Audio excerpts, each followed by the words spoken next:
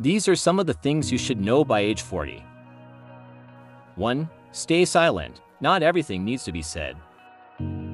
2. Silence is better than unnecessary drama. 3. If you find someone smarter than you, work with them, don't compete.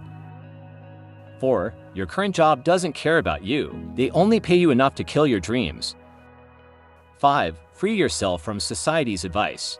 Most of them have no idea what they're doing. 6. You'll be 10 times happier if you forgive your parents and stop blaming them for what you probably experienced as a child.